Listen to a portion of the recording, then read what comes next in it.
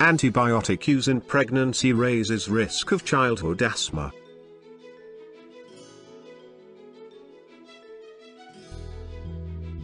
It is a common belief that drugs are not safe during first trimester of pregnancy only. But any medicine has to be carefully chosen throughout pregnancy.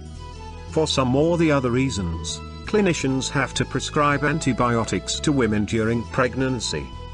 Some are okay to be administered, but many are not good.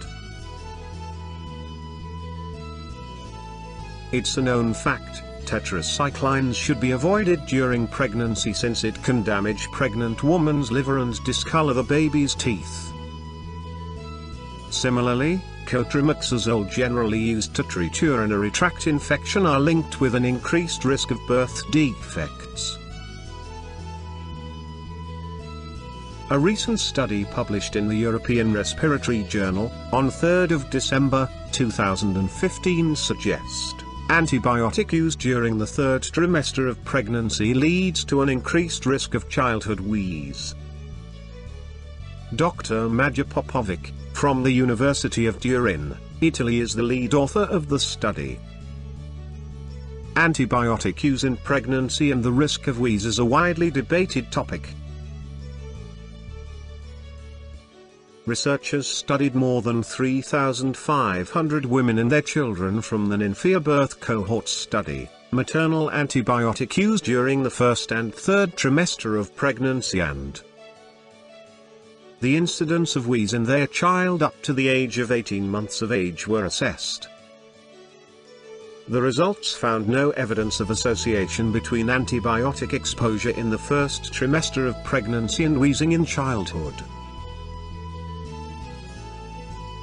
There is some evidence to suggest that taking antibiotics at third trimester alters the composition of the mother's gut bacteria.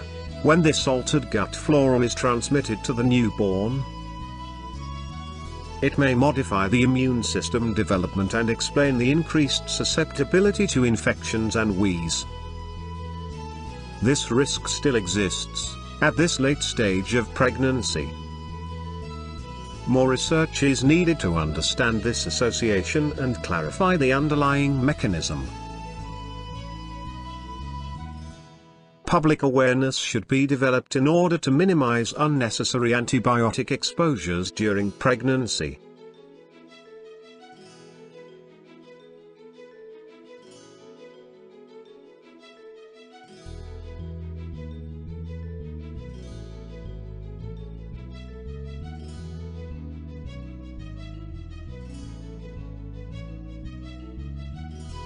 Thanks for watching. Please click the link in description for more information.